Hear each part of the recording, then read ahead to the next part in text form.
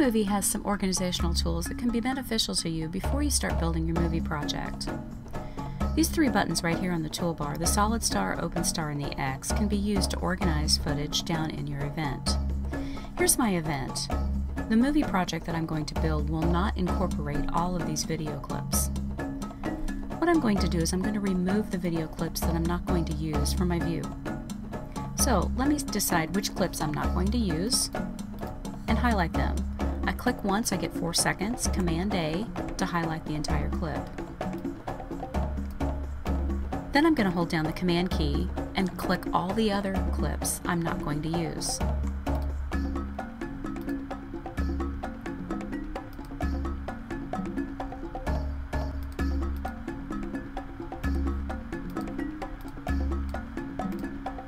Once I have everything highlighted, can go up to the toolbar and click on the Reject button. It has a plus behind it because I have clips down in the event highlighted or selected. Go ahead and click on that and now they're not in my view anymore. I'm not going to use them so now they're away from my view and not clouding my thoughts. Now I didn't delete them. Let me show you where they went. Down here under the event browser you'll see a field for show.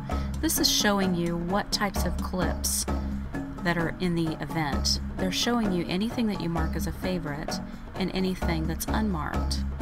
If I click on this drop down arrow here, I can go and see all the clips that I rejected. I call it a rejected bin. These are all those clips that I just rejected. Put a red line through them and I'm storing them and it's storing them in this special area. If I change my mind and I want to take one of the clips back to my event so I can see it, all I have to do is click on it once, Command A, and select the open star which unmarks anything. This will unmark a rejected and it will unmark a favorite. Let me show you. Now it's no longer visible in my rejected and if I go back to favorites and unmarked, there we can see it. Let me mark something as a favorite so you can see what that does. Obviously you're going to mark clips that you want to use in your project as a favorite. If you're in academics and you're building a project for a, a um, class project, what you can do is mark any required elements in your video project as a favorite, just to make sure that you get them in your video project. Let's mark this purple petunia clip as a favorite.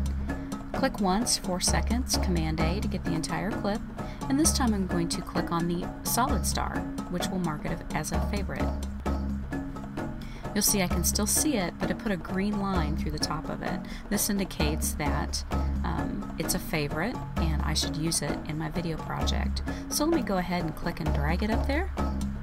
And then finally we have another color strip through the bottom of it this is orange, and this indicates that this clip has been used in your project.